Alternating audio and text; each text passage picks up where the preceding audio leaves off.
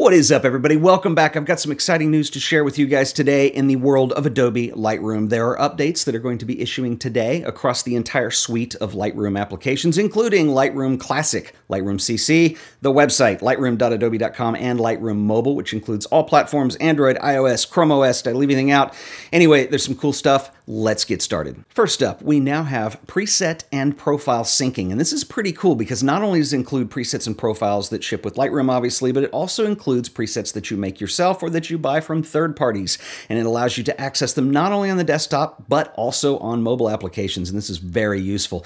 Now, in order to get this going, if you have presets that you've built or third party presets, if you're like me and you use Lightroom Classic a lot, you've got to import them into Lightroom CC first, and then they will start syncing. So to do this, you're going to go into Lightroom CC, and under the File menu, you're going to import your presets, locate them in the Finder, and then they will start syncing across devices. This is pretty awesome because now you can access them on mobile. And so if you go over to the mobile version of Lightroom, basically in the edit panel, if you go all the way to the bottom, you will now see your presets. And there they are, voila. And of course, this goes both ways. You can now create presets in the mobile version of Lightroom, and they will sync up to the desktop. And I think this is a really powerful feature that Adobe has given us. One thing I tend to do a lot is small things that become very repetitive, like emulating a film curve or something like that. I don't want to recreate every time. So I have a lot of presets that are kind of utility presets that just do some color toning or some curves adjustments, and then I can take it further from there. But they go ahead and they get it set up for me. This is a great way to work. And now that you can sync these with mobile, it's a great way to do it on the go. Also, new if you go over to lightroom.adobe.com. This is the browser version of Lightroom that you use for sharing images. They have now added enhanced sharing options for albums that you've created. And what you want to do is you want to click on the shared icon, and then you can control download permissions, show metadata, and location data on a map. This is very useful if you're using this to work with clients. Now let's talk about Lightroom Mobile. Now I did mention that we have the ability to create presets in Lightroom Mobile that will sync to the desktop, but there's some other new features that are pretty cool too. First up, we now have a healing brush. So now you can perform healing adjustments within the mobile application. We also have the ability to remove chromatic aberrations. Now, at the moment, this is only available in the iOS version. I imagine it will be coming to Android soon. And speaking of things that are coming soon, let's talk about technology previews. Now, if you're not familiar with what technology previews are, if you go into the preferences in the mobile application, you can turn these on. And these are basically kind of these beta previews of things that will be coming that are being enhanced and worked on. You can turn them on or off if they're not working for you, but we've got two really cool ones in Lightroom Mobile. The first one is guided tutorials. So if you're not familiar with Lightroom, this is a great way to get a guided tutorial around the software interface and how you can best use this. And we also now have a long exposure emulation too, which is kind of cool. And there have been other apps that have done this before, but this is for capturing images on a mobile device like your phone. And long exposure is something that just the nature of the design is hard to do. So you have to emulate it with a series of exposures. What's cool about this is it allows you to do a long exposure emulation without a tripod, which is actually kind of interesting. And I'll be working through some of these in the next few weeks and we'll test them out and see if they're the real deal or not. But this one does look promising. If you're on the Android version of the device, you can take advantage of the new HDR support that's in there as well. So if you're capturing images from a cell phone in a really high contrast area, you can play with the high dynamic range and get shadows and highlights to even out and things like that. So that looks very promising as well. Adobe has also given us the ability to batch copy and paste settings in Lightroom CC. Now, this is something that we've had for a while now in Lightroom Classic, and they finally moved this over to the CC version as well. So if this is the version you're using, this allows you to make edits to one image, and then if you, let's say you have a group of similar images, you can just copy and paste those settings across an entire group of images. So to do this, what you want to do after you've edited an image is you want to select the image in one of the view modes. You're going to go up under the photo menu at the top of the screen, and this gives you two options. You can copy all the settings, or you can select individual settings that you want to copy and paste. Then what you're going to do is hold down the Shift key and select all the images that you want these settings applied to. Go back up under the photo menu and then you can paste them across. Everything syncs up. It finally works and it is awesome. And finally, let's talk about new features in Lightroom Classic. Now, this is the version of Lightroom that I use the most. It's the one I'm the most familiar with, and I also still feel like it's the most powerful of all of the options that you've got.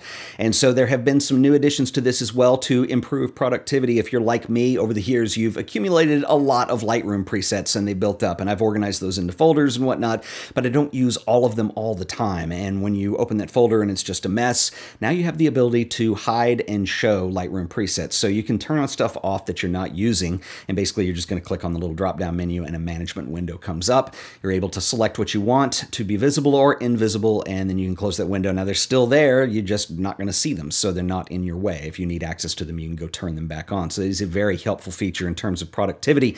Also added is enhanced search features. Everything is now faster. Even I've found when I'm searching across my entire collection, everything just pops right up. There's actually a really nice performance upgrade there. And we now also have the ability to apply color labels to folders, much like you can in the Finder. This is very useful if you want to mark a folder of images that you want to come back to later to finish up or something that needs review. Anyway, this is all designed to make you more productive. And then finally is probably my favorite feature that they've added into Lightroom Classic, and this is small, but it's a big time saver. If you work with HDR stacks or panorama stacks, I do a lot of panoramas, especially when I do drone shots, and now we have the ability for auto stacking. This is very cool because now we can import images and based on capture time, we can apply auto stack, or when you're applying the HDR or panoramic stitch, there is a little tick box that says auto stack images, and when it's done, it's going to auto stack these so you don't just have random images floating around and you don't really remember they're part of a panorama. This will make it really clear. So these updates you will be able to download and install starting today, and I'm pretty excited. And I want to talk about Adobe for a second because obviously the highlight of this round of updates has to do with cloud application. And I think that is one of the strong suits that Adobe has with Lightroom in this direction they're going. And I think with this release, we're starting to see a little bit of a roadmap, and I want to explain that.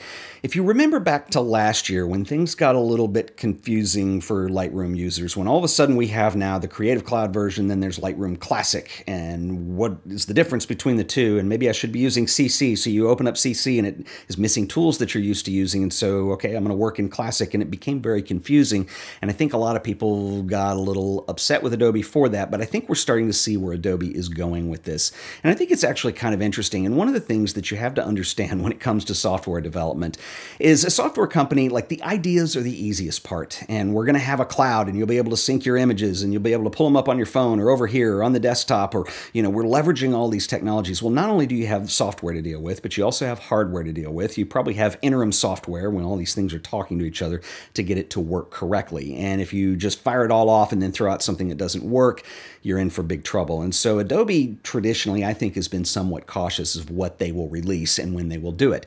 And if you think back to when, you remember Lightroom was just one application and it worked on the desktop.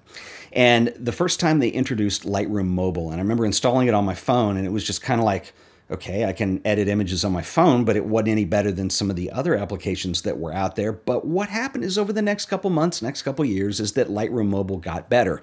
And now it's a pretty interesting app to use, particularly when you can sync it to the desktop. So I think a lot of these cloud-based things that we're seeing with Adobe are starting to indicate a roadmap of where they're going. I think it's going to be really interesting to leverage technologies such as browser abilities to edit. If you go to lightroom.adobe.com, that's probably the least used from people that I talk to. Um, it's a really good place if you're sharing images with the client or with your family or something and you want to give people the ability to download or preview or comment or what have you. It works great for that. But most people don't know that you can actually open the editor in there and you can do edit adjustments to an image. So it's really nice if you're delivering something on the fly or I could see a lot of usefulness there. And I think it's interesting because browser technologies are becoming good enough to where you can actually do some of these things in a browser. But they are taking advantage of all the points that you might be interacting with your image catalogs. This includes mobile, includes desktop, it includes the browser. If you're out of town and you don't have access to your images at home and you have them all synced up in the cloud, you can just use the browser version if you want to do something really quickly to send somebody.